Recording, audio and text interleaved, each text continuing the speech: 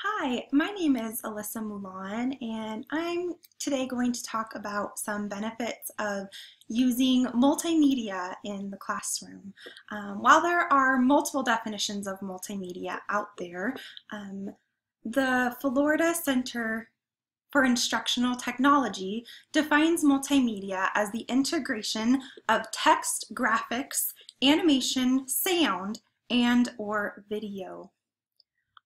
Some benefits that I'm going to focus on today include engagement, interaction, and collaboration. Multimedia provides an easy way to improve interaction and engagement with students. Students working collaboratively on a project can have more benefits than we realize. They're learning how to work as a team and they learn new content and curriculum as well. Uh, multimedia helps students be engaged and when used appropriately, they might even forget that they are learning because they are having so much fun with the video and multimedia integration into the lesson. Uh, our text Roblyer from our textbooks Integrating Educational Technology into Teaching talks about both teachers and students creating videos in the classroom to explain a specific procedure or routine. Um, this can be viewed as many times as needed and can save time in the classroom. Uh, I personally can envision my second graders creating videos for our classroom routines as a fun beginning of the year activity to help uh, establish those routines. Um, also, the National Teacher Training Institute discusses the benefits of using video in the classroom. Um, it can reach children with a variety of learning styles, especially those visual learners. It engages students in problem-solving activities, and it can help develop those 21st century skills that our students need to know um, and to be able to use in their future. Um, this diagram just shows a quick 21st century learning skills. Um, number one, ways of thinking, two, ways of working, three, tools for working, and four, skills for living in the world. And you can see too there that the collaborative and problem solving is a big part of that um, as well. Um, videos can be used throughout any lesson. Um, it can be to preview, uh, to activate student schema um, and background knowledge at the beginning of a lesson. Um, it can also be used in the middle of a lesson to review concepts, or of course at the end um, for any reinforcement or review of those concepts as well.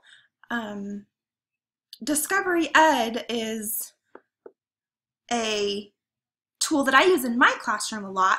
Um, they can also be great for discussions. Um, I use many of these videos from Discovery Ed that have discussion time built into the video. So students know when and what to discuss, and they also know when to stop as soon as the video resumes. So those are some ways that um, multimedia um, influences the classroom. So now I'll just talk a little bit about some examples of things that will integrate multimedia. Um, the first thing is virtual field trips. Um, that can allow students to have different experiences and communicate with people all around the world um, without even leaving the classroom. Um, another one can be students creating how-to videos. Um, students can create how-to videos from anything to a simple classroom procedure to explaining how to solve a math problems.